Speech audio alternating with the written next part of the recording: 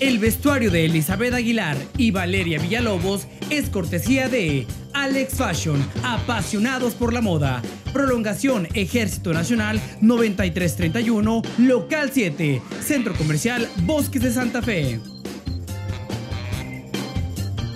Y señora, ya fin de semana, gracias a Dios. Así es que yo le presento cómo estaremos en el clima de este fin de semana riquísimo. Y vámonos rápidamente para el día sábado. Tendremos una máxima de 37 grados centígrados, una mínima de 22 grados centígrados con unos vientos de 18 a 20 kilómetros por hora.